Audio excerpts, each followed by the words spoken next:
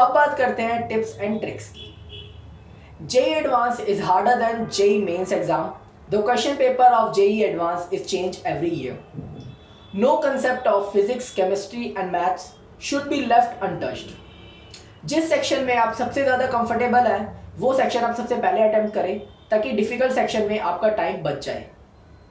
अगर आपको कोई क्वेश्चन आता है, उस पर ही फोकस करें, कोई और क्वेश्चन पे ज़्यादा डबल माइंडेड ना लगाएँ ताकि आपका टाइम वेस्ट ना हो और आपकी नेगेटिव मार्किंग भी ज़्यादा ना हो। सो so, अगर आपको ये वीडियो पसंद आई तो please like share and subscribe करें इस चैनल